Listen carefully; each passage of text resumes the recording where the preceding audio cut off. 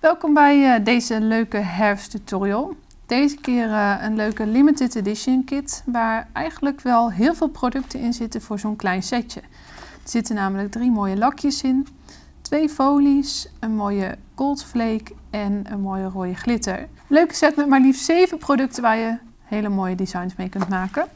Ik heb alvast uh, een paar voorbeeldjes gemaakt, ook om te laten zien hoe het eruit ziet, glans en mat.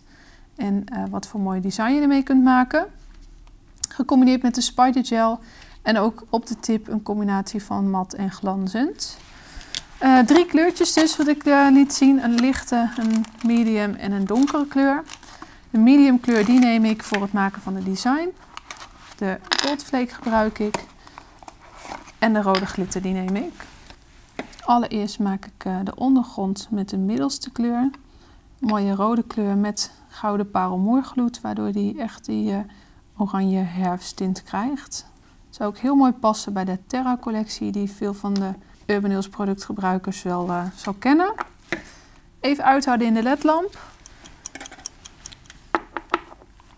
Na het uithouden van de kleur uh, breng ik eerst de matte topgel aan. En juist die parelmoergloed krijgt echt een velvet look wanneer je de matte top erop aanbrengt.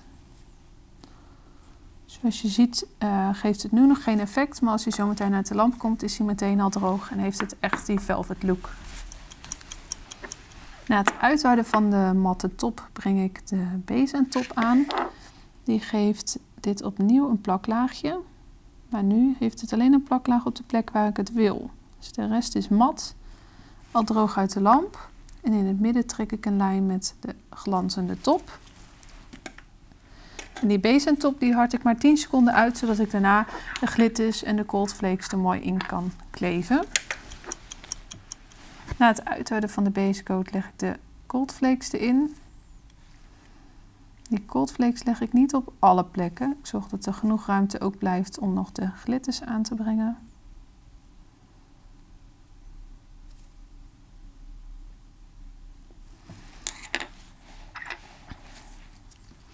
De glitters is zo mooi, die zijn rood, maar ze zijn niet in en in rood. Dus uh, je kunt ze op meerdere tinten gemakkelijk gebruiken. En die poeder ik ertussen. Nou, zoals je ziet pakt die op de plekken waar nog geen goldflake zit. Dus heb je die hele lijn mooi opgevuld. Omdat die base en top nog maar kort was uitgehard, doe ik het nu heel even fixeren in de lamp. En uh, dan kleven de glitters ook goed vast in de plaklaag. Na het fixeren van de glitters gebruik ik de zwarte spider gel.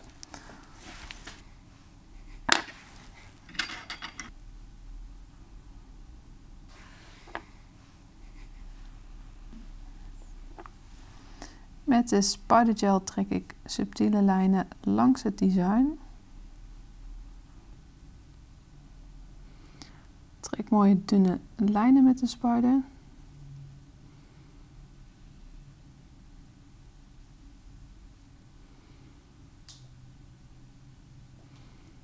Ook aan de andere zijde er langs heen.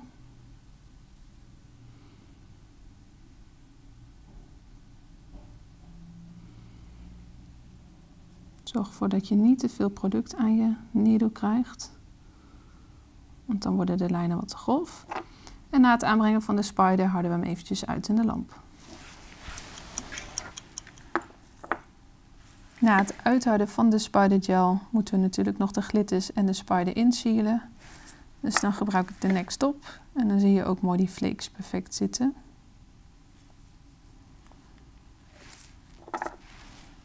Ondanks dat blijft aan de zijkant dat mooie matte effect. En die houden we ook eventjes weer uit in de LED light. Nou, zoals je ziet, superleuk effect wat je met alle kleurtjes kunt toepassen. Dus met zo'n kitje kun je alle kanten op en heb je echte herfsttinten en herfstdesigns al in huis.